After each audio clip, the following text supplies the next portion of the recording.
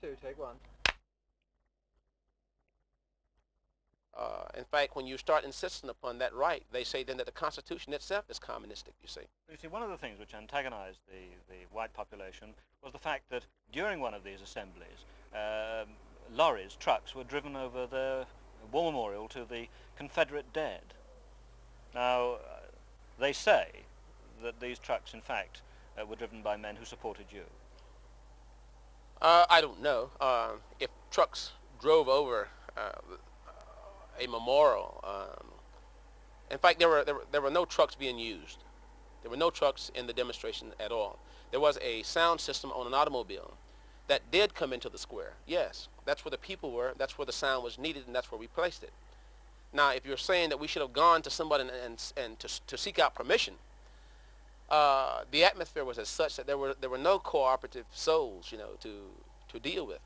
How can you deal with a mayor when he's fighting the sheriff, you know? How can you deal with the police when they're manning water hoses and tear gas? Um, we needed the people in a mass. It was a county property, and that's where we met at as county citizens.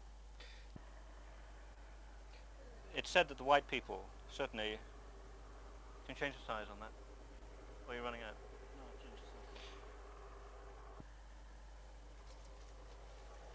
Thank you. 83, take one. What is going to happen to the town of Sparta then?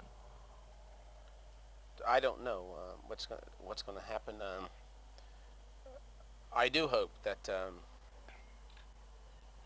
out in this area we'll be able to provide some of the services um, that's been previously provided only in Sparta.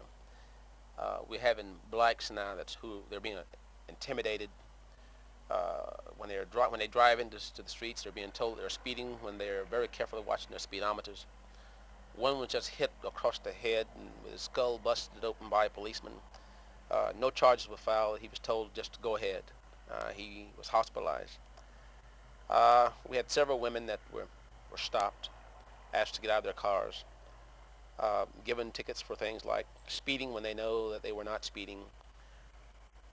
And the thing, it's gotten to the point where people just don't want to come into the welfare office if it has to be there. Uh, they don't want to come into the health office if it has to be there. Uh, so we're writing a proposal now for a multi-purpose community development training center.